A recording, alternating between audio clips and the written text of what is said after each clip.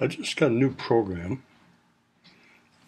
for the Mac that allows me to record the iPad screen um, on the Mac.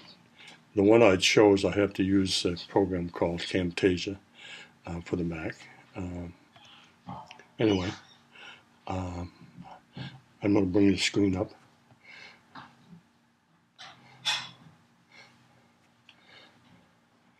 Oh, there we go. It's called AirServer. Right there is the screen um, for the iPad showing up here on the Mac, and I'm recording it. Um, what you have to do is uh, swipe the home, uh, hit the, excuse me, uh, tap the home key twice, and then swipe the bottom part of the screen to the right until you see this screen. And then this little um, gadget right here is called AirPlay. Um, and later on I'll get into uh, Apple TV, but right now um, this is my Mac, my 15 inch Mac, or you can take it back to the iPad. So I'm going to click out of the screen over here and click again. I'm tapping on the screen on the iPad. Now what I want to do is show you where I got this information. Um, so I want to go to uh, iTunes.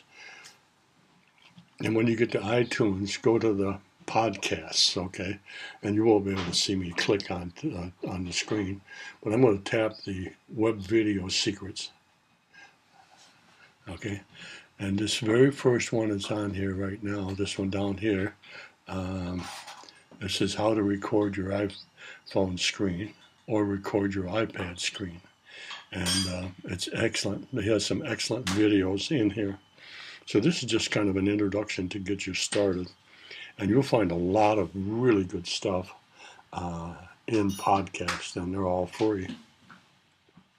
So you would click on, I'm going to click on podcast down at the bottom of the screen.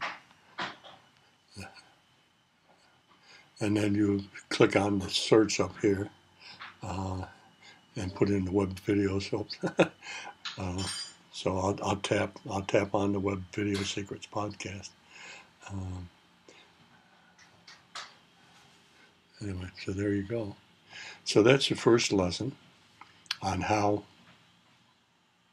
to record your actions on your iPad over to your Mac.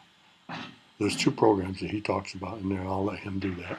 So if you want to watch it, I'm going to hit the home key once and then go back to this screen. Okay? That's it. I'm done for today. Okay?